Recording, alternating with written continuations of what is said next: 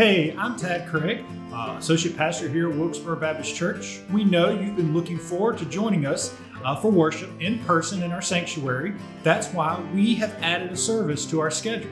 You can still join us on Wednesdays at 6 p.m. in our sanctuary. You can also join us at 8 a.m., 9:30, or 11 a.m. on Sunday mornings if you choose to come then. We look forward to seeing you, and I hope that you'll stay safe.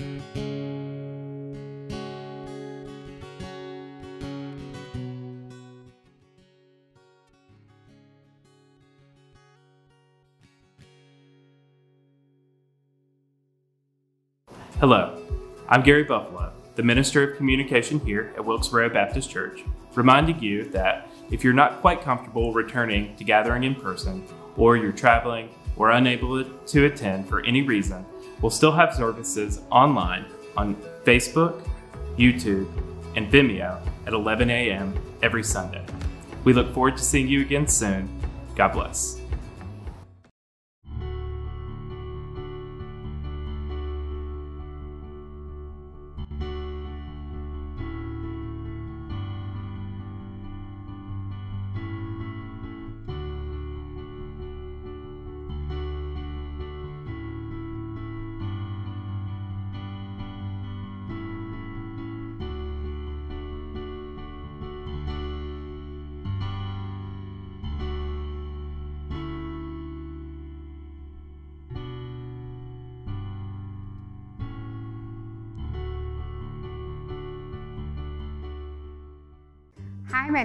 Danielle Hicks. I'm the Minister to Children and Families here at Wilkesboro Baptist. Thank you for tuning in with us today. If you would like to know more about our church, or if you need to talk to someone during this difficult season, please reach out using the information on your screen below.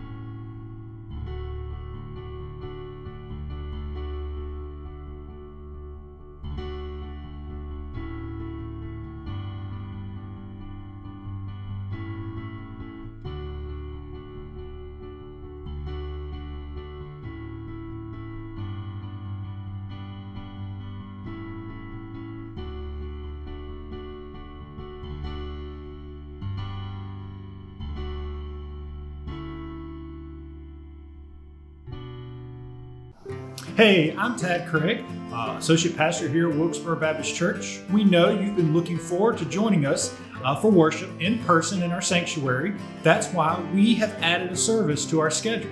You can still join us on Wednesdays at 6 p.m. in our sanctuary. You can also join us at 8 a.m., 9:30, or 11 a.m. on Sunday mornings if you choose to come then. We look forward to seeing you, and I hope that you'll stay safe.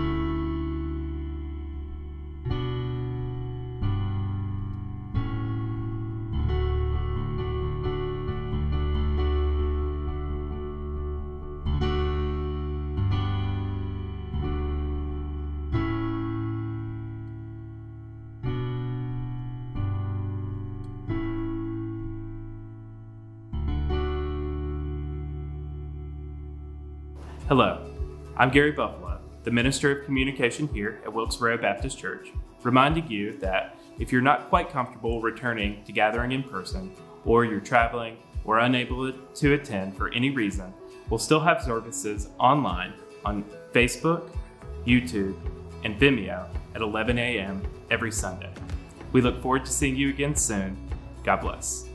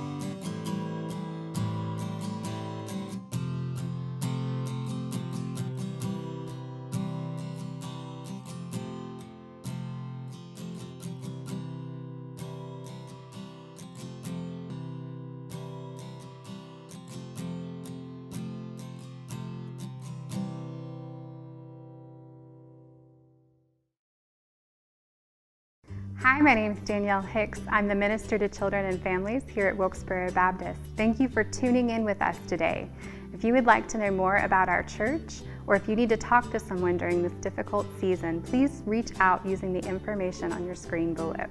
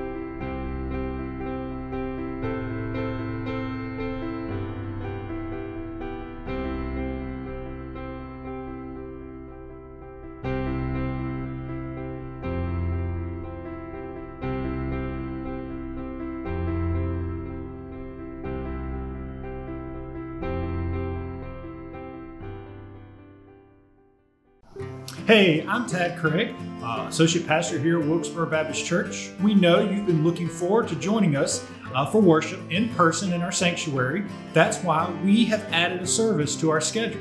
You can still join us on Wednesdays at 6 p.m. in our sanctuary. You can also join us at 8 a.m., 9:30, or 11 a.m. on Sunday mornings if you choose to come then. We look forward to seeing you, and I hope that you'll stay safe.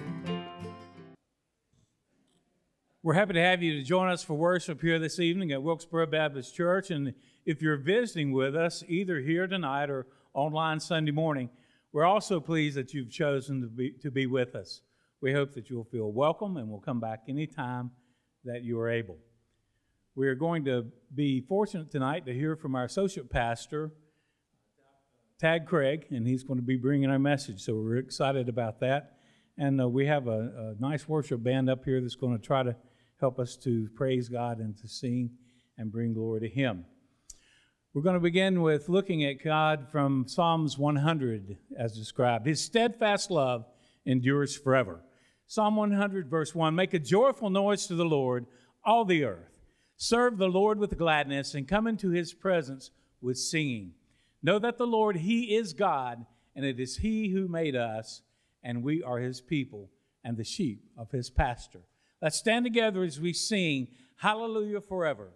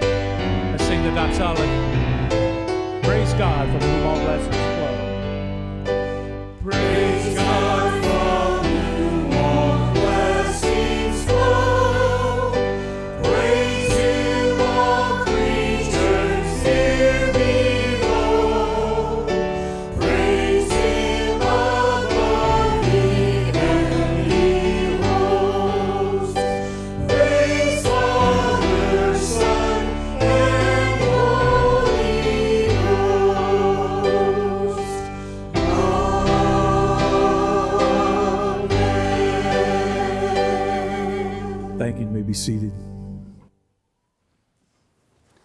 If you are joining us in the room, we're so glad that you're here worshiping with us on Wednesday evening. And if you're joining with us on television or Facebook or YouTube, thank you for jo- tuning in as well and worshiping with us on this Sunday. If you're on Facebook, click the share button if you wouldn't mind and uh, share our worship services with those in your Facebook friend groups. Um, I would invite you to turn your attention to the screen for our memory verse for the month of July. It's Proverbs 11:30. Uh, there we go. I, I still haven't quite fully memorized it, so thanks for getting that up. The fruit of the righteous is a tree of life, and whoever captures souls is wise. Proverbs 11:30. Wonderful passage of scripture. Uh, thank you for memorizing that and working on that along with me. A couple of prayer requests for you. The Kazakh people remain our unreached people group to pray for this month, and I'd like you to remember some friends of mine, David and Lindsay Easler.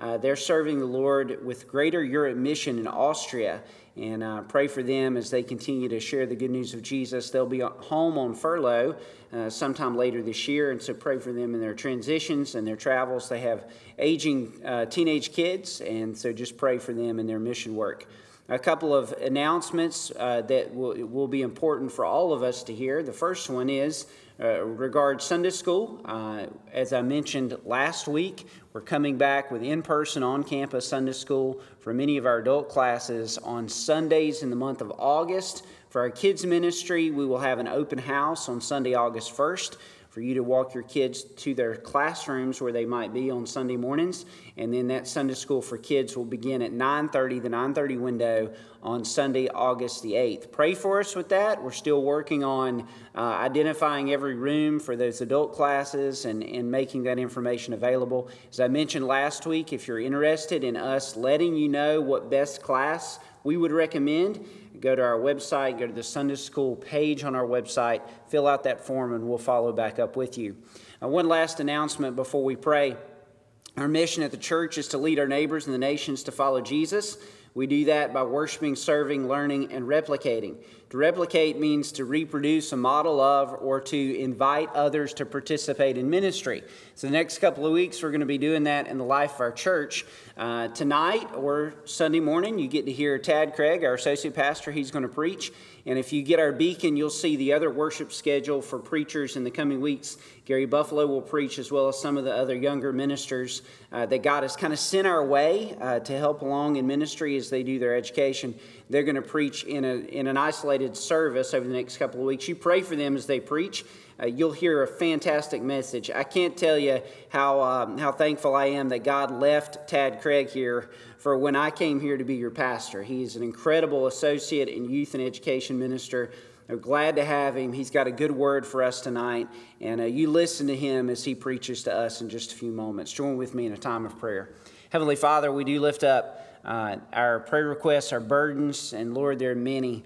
There are folks in our community that are sick. There are folks that are going through surgery and recovering from surgeries. There are folks need your intervention, and we pray that you would heal and help. We pray, Lord, that you would save those who are lost, neighbors and family members, teenagers, children, friends. Pray that you bring their uh, hearts and lives to you. We pray for our church. Lord, we need a word from you tonight, and I pray, Lord, for Tad as he preaches. I ask, Lord, that you speak through him and you speak to us. Uh, help us to hear what you have to say to us through your word. Lord God, I pray for David and Lindsay. Bless them as they come to the States on furlough. Continue to work through them as they share the good news of Jesus in Austria. And Father, for the Kazakh people, pray that you would send missionaries, you would raise up witnesses for the good news of Jesus Christ into that unreached people group. Lord, as we continue to sing songs and praise your name, be exalted and lifted up. We pray this in the name of Jesus, our Savior. Amen. Back last year during the COVID, we sang this uh, with a worship band at least once or twice. The song is called Holy is the Lord, and it deals with the congregation, realizing how holy God is in his sovereignty. It starts with We stand and lift up our hands, for the joy of the Lord is our strength. We bow down and worship him now. How great, how awesome is He. Let's stand together. And as you stand, I'll tell you that this hymn is number 56, I believe, if I remember correctly, in our hymn book. So it is one that uh, maybe you know and maybe you don't, but we hope you worship with us. Here we go.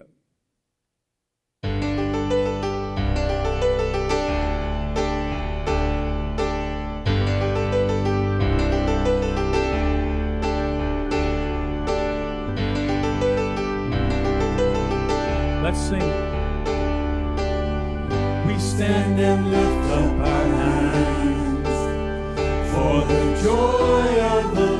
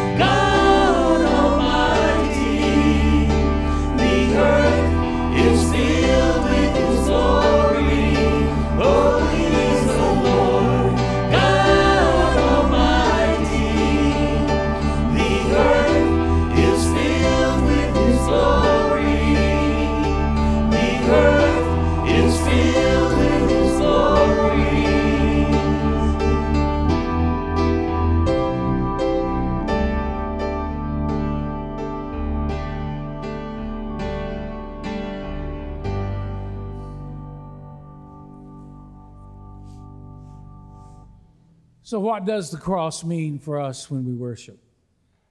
You know, it's not enough to sing songs about God's love that produce the warm feelings in our hearts. We need to remember the reality of Christ crucified. Ever since Adam and Eve were kicked out of the garden, we haven't been able to reach God directly. Thanks for Jesus. He is our link to our God.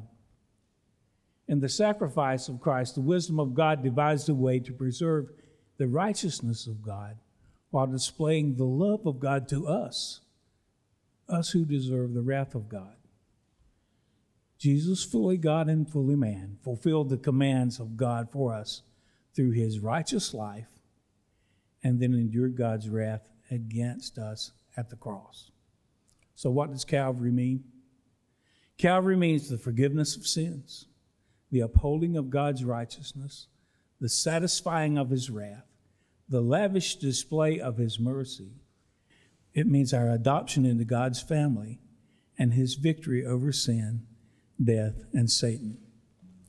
Many people believe that if we don't get to the, to the gospel in our worship process, that we haven't really completed worship.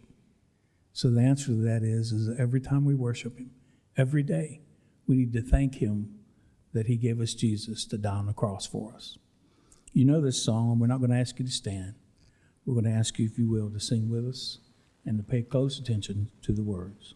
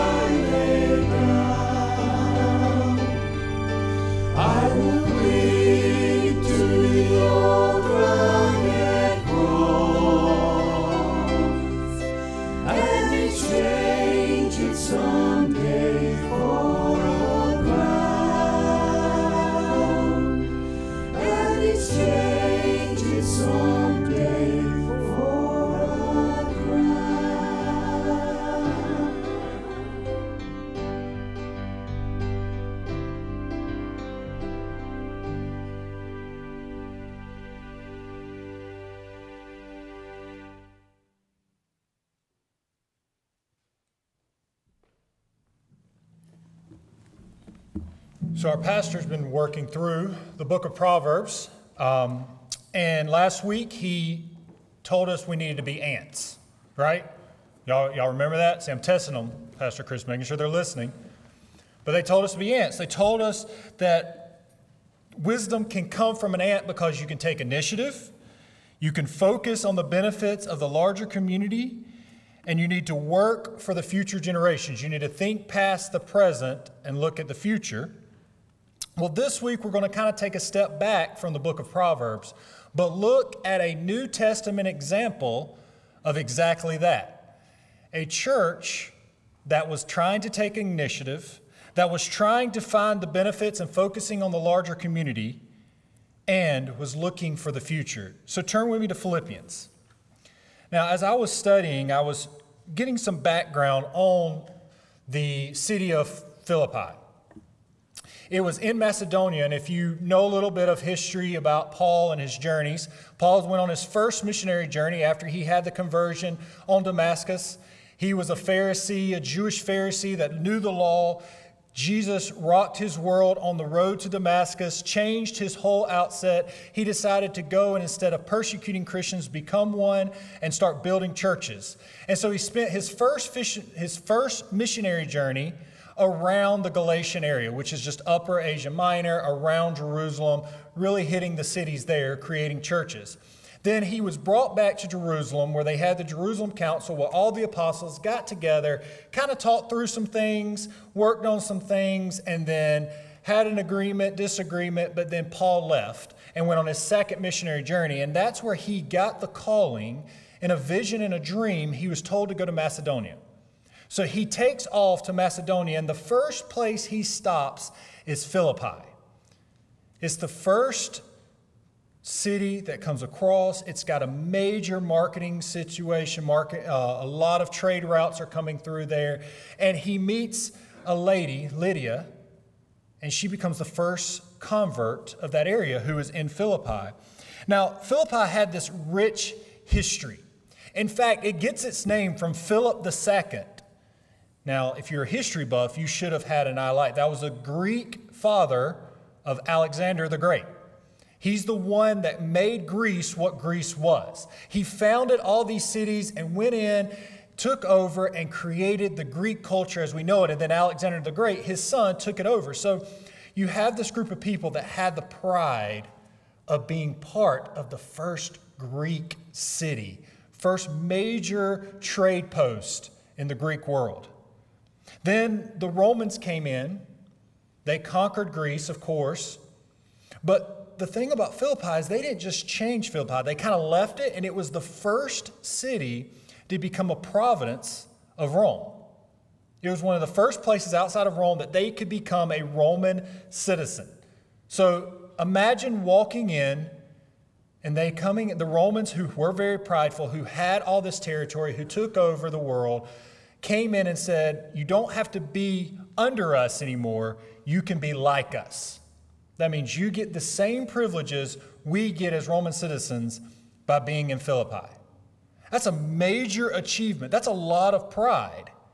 So when Paul comes into this town, he has a group of people that has Greek heritage, that has Roman heritage, and then you have the Jewish people that's come in and have done their customs, and now Paul is coming in and giving them a new way of life. He starts preaching about this guy who went to a cross, died, put himself there for everyone because he loved them and he was the Son of God. He was the one that Daniel saw in his dream. He was the one that came and was going to free them. He was the Messiah. He was the Christ. He was the one that were going to bring them back in a relationship with God. And he starts preaching that in this city. And he starts getting converts more and more people started coming and they built a church, started in a home, and it grew. And this gospel, this good news, was changing the city, changing the community. And Paul was excited. Because even though he started preaching, there were people that didn't like Paul. And if you read the book of Acts, Acts chapter 16, you start seeing they actually put him and Silas in prison. The Jews got together, put him in prison, and what did Paul and Silas do in prison? They sang hymns. They sang songs. They converted a jailer. I mean, it was just a gospel explosion occurring. So we pick up this letter where Paul is now back in prison. He's been captured by the Romans. He's on his way to Rome, maybe serving in Rome under house guard because he is waiting the final judgment, earthly judgment, but the final judgment. Now he is to go before Caesar, and it's either he is released or he is going to die. Those are his options. And so you can imagine he's sitting there in his cell, and this church comes to mind. Another interesting thing about the letter of Philippians that's different than the other letters that Paul wrote it's kind of a joyful letter. It's a letter where he starts off thanking them for their great deeds, their love for him, their compassion for him. And it's amazing to see how he was just overwhelmed with joy. He starts the letter joyfully, unlike the Corinth church. If you start the letter, if you start reading 1 Corinthians, the first letter he wrote, it's not so joyous because the Corinth church had problems. There were a lot of things going on, organization, people were fighting. It was just, it was kind of a bad bad deal. So Paul writes that letter to the Corinthians, kind of telling them, okay, you need to stop doing this and do this. It was kind of a guidebook for what you need to do to be a better Christian, how to give the gospel, how to be a better community, how to be a better church. That's kind of what 1 Corinthians is. But Philippians is not like that. We see in the book of Philippians, we don't see a lot of, you need to do this. You're doing this wrong, so you need to change and do this. You don't see that in the book of Philippians. You see encouragement, you see words of wisdom in the book of Philippians. But now they're faced, this church is faced with something that they've never encountered before. Their leader, their pastor, their visionary is now probably going to die. And like any situation where there's not a strong leader, where there's not a strong path, and there's a lot of questions, there's a lot of unknowns, they start wondering what to do and they start fighting a little bit. Not bad fighting, just a little quarreling. You know, some people want it this way, some people want it this way. Remember of all the different customs that were coming about? You remember all the different pride that people had? So you that's not hard to imagine, right? We've seen that today. In today's society, we see that. We see that in very diverse places where you have a group of people with different backgrounds and different ways that they can be proud of. They start sharing their thoughts with each other, and they don't always get along. And Paul's done a great job of keeping them gospel centered, keeping them focused on the good news. But now you can imagine he started getting a few letters while he was away. A few things of this person is, is not really being very godly at the moment. He's probably getting another letter that says, Paul, what are we going to do? This group of people is trying to take over. And so we get to Philippians chapter 2, starting in verse 12. And he writes these words Therefore, my dear friends, as you have always obeyed, not only in my presence, but now much more in my absence, continue to work out your salvation with fear and trembling. For it is God who works in you to will and to act according to his good purpose. You see, Paul wanted them to be reminded that they need to continue growing within the gospel. That that just because he wasn't going to be there they could continue to be obedient to the Holy Spirit. They could continue being obedient to what Paul had taught them with the good news of Jesus. They could continue bringing salvation and showing salvation to those around them. They could continue that. But it wasn't going to be easy. It wasn't going to be just something that stopped when they made the commitment and became a church. It was going to be difficult. It was going to be really difficult, actually. He says that you've got to work out, to continue. I'm using the NIV because in the NIV translation, it uses that word continue to work out your salvation. Now, this is not meaning you can work for your salvation. That's a, that's a key word. You're not working for your salvation, you're working out your salvation. You're thinking through it. You're working on it. You're, you're challenging yourself. There's going to be challenges that come. Dallas Willard stated this way He says that working out in a sense of developing or elaborating something, bringing it to the fullness of what its nature it is meant to be, not as our project, but as God's will. See, Paul was refocusing them not on their own community, not on their own church, but he's giving them back to its ultimately God's will. And that can be scary because God's much bigger than we are. God's much bigger than this community. God's will is so much greater than what you personally need or want. It's a, the bigger picture. It's about bringing back people to Him and seeing His glory and seeing His love.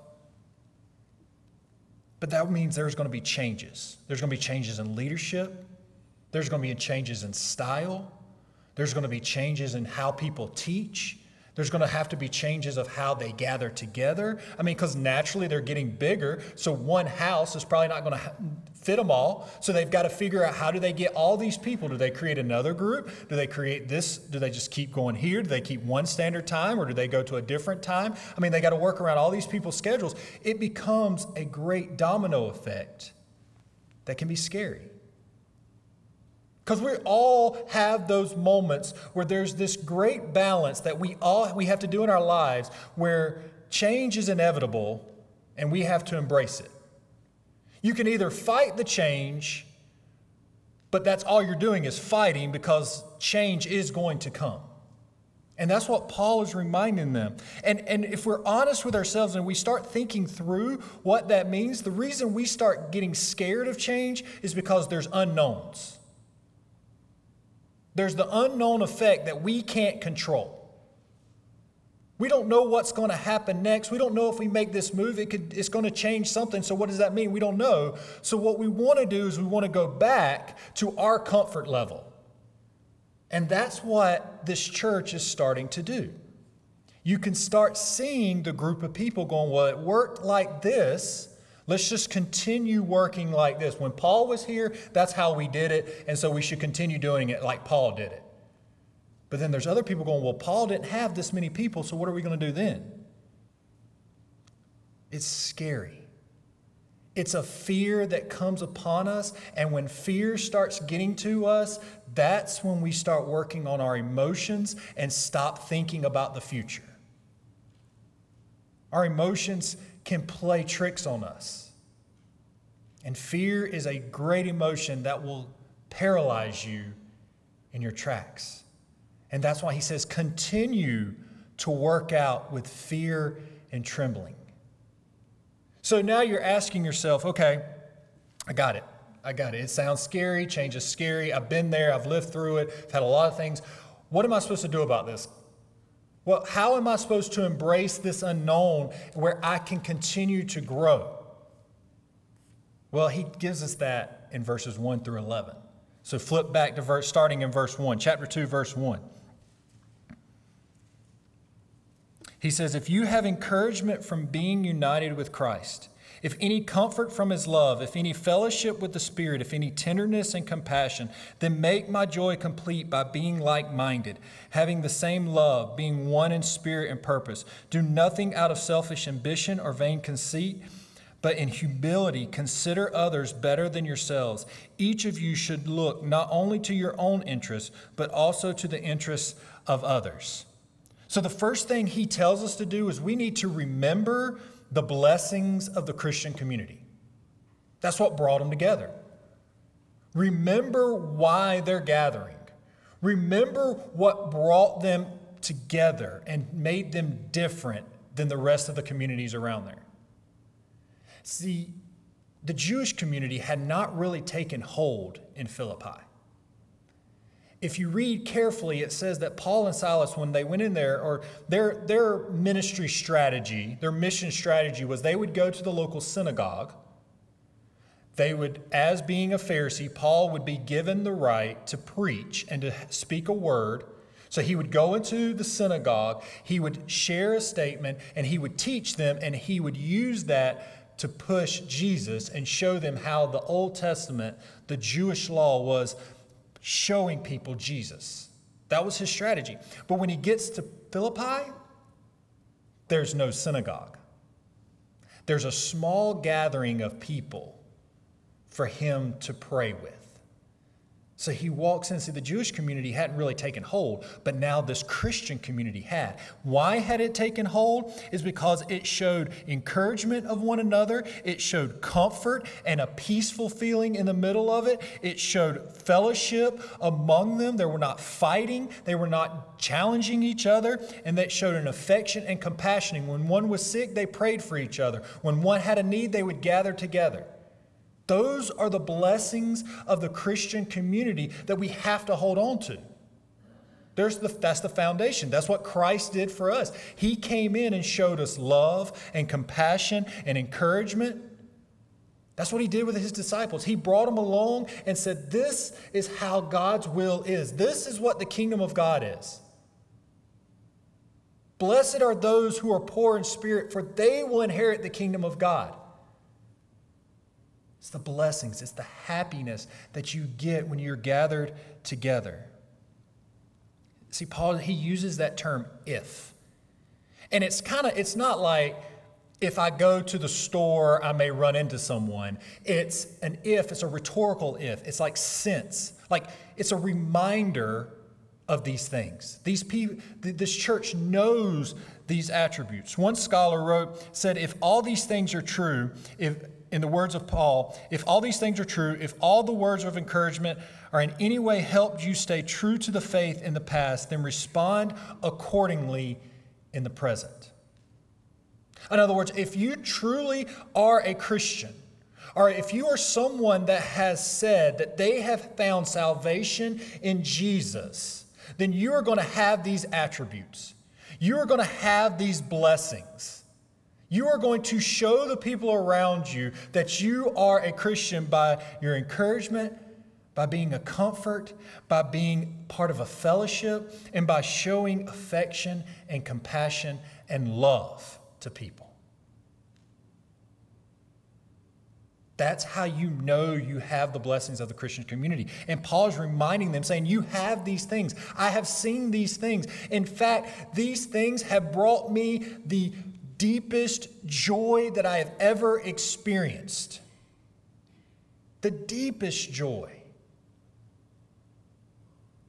In other words, when he is sitting there facing trial for death, what is bringing him out of that despair and depression and just woe is me is the thought that he has a community that supports him, supports one another, and is sharing the gospel to a community that is so ransacked with diversity and cultures and ideas, but they're being focused on the good news of Jesus. You see, it's the harmony that brought him joy.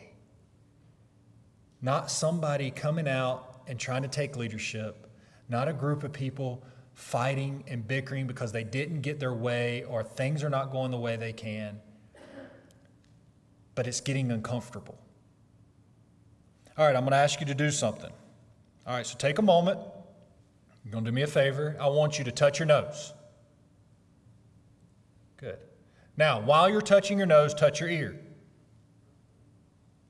Some of you are not doing it.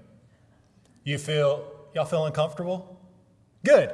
Good, that was a perfect. Y'all can do that now. It was fun to watch up here. But uncomfortable, that uncomfortable feeling is odd, right? Some of you like it better than others.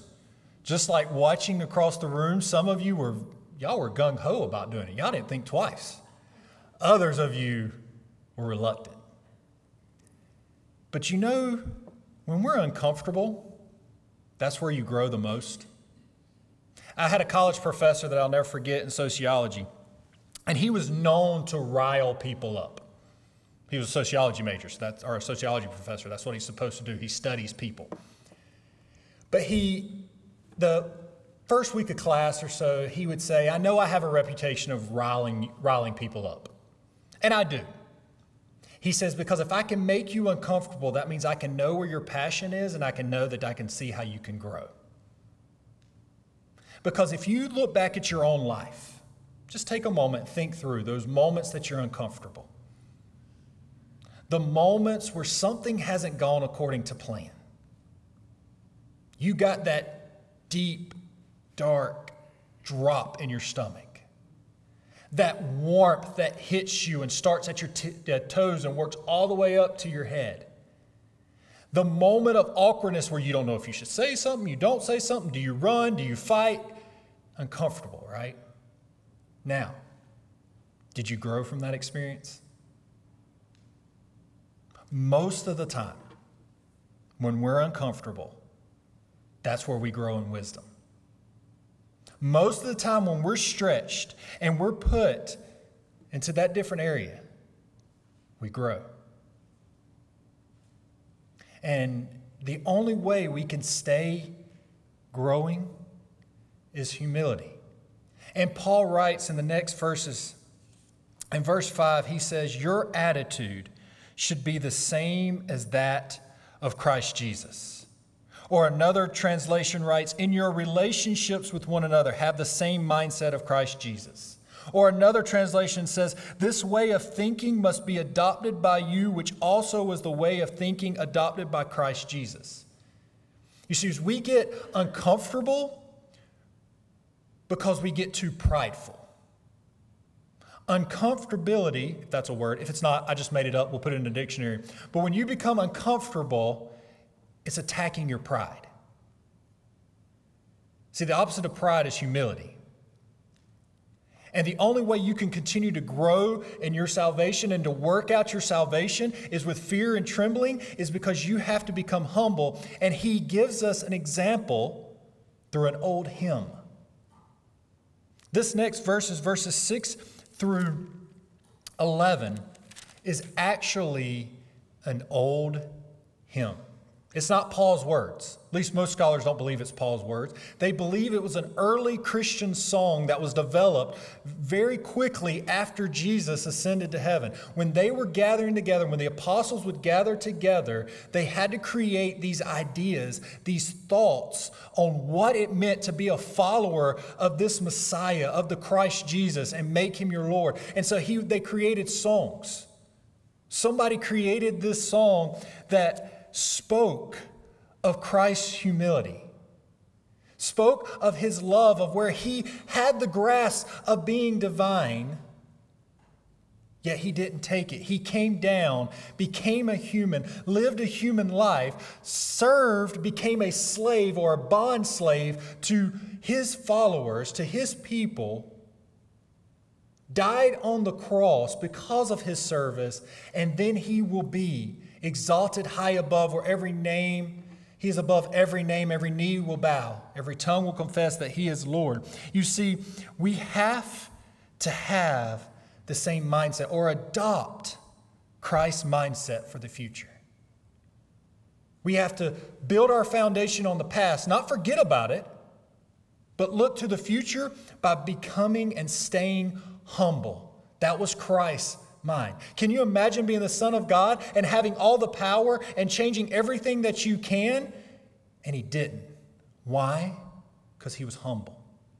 Because he knew the way to God's will, the way to bring salvation and to bring that relationship back to God was through the cross, which means he was going to have to humble himself. He was going to have to be stripped down. He was going to have to be put on display for everybody to mock him and make fun of him and throw things at him and beat him for us. We're here today because he did that 2,000 years ago.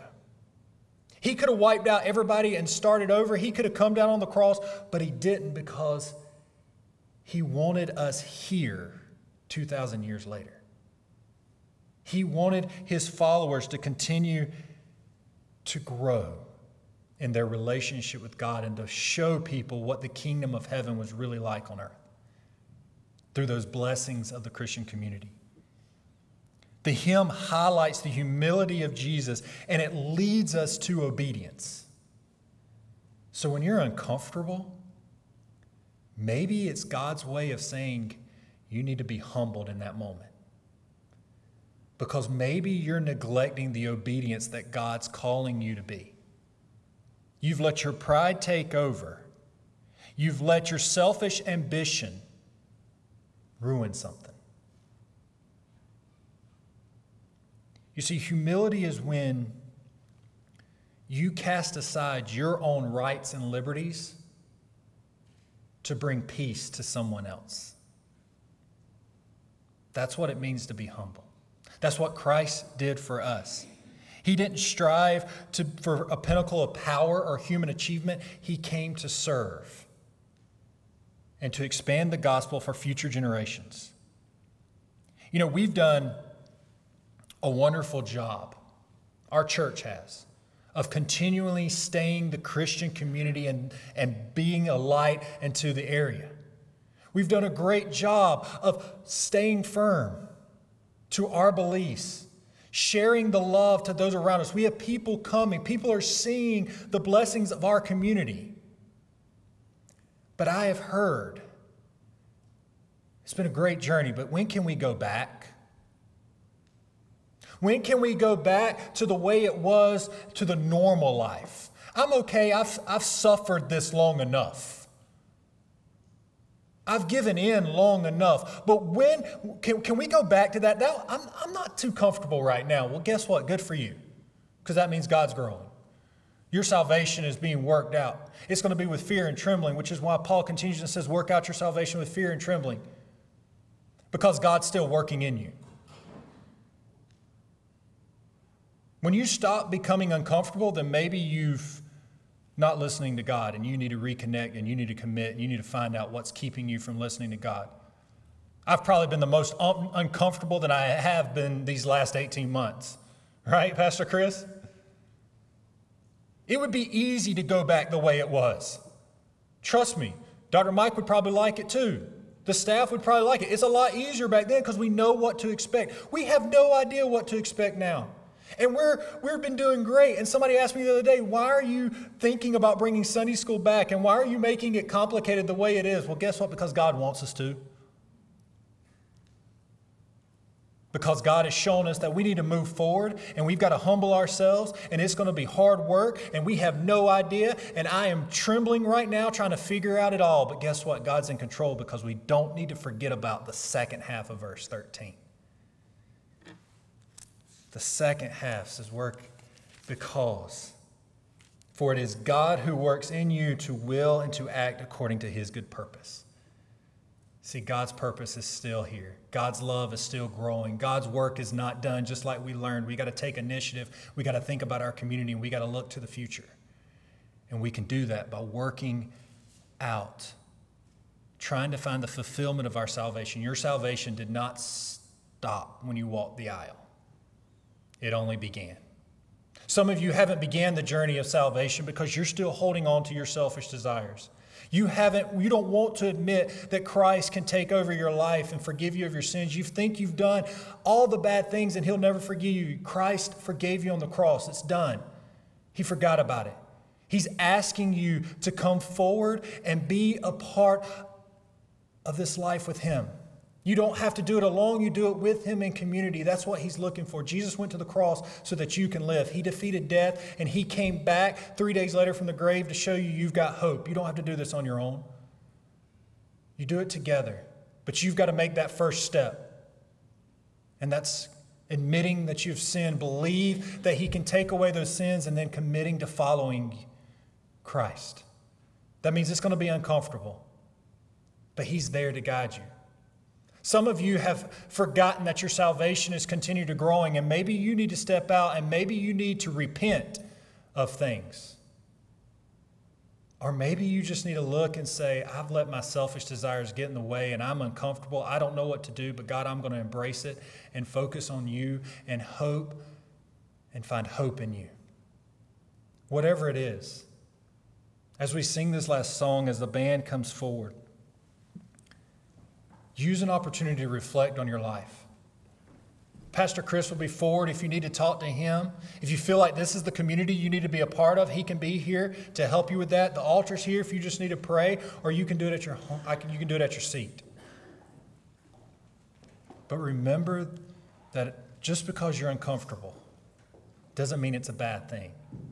It can mean that God is trying to teach you and give you some wisdom. Let's pray. Father, thank you for this day. Thank you for all you've done for us. We pray that you will continue working in us and helping us and showing us your love, showing us your grace. We ask these things in your Son's name. Amen.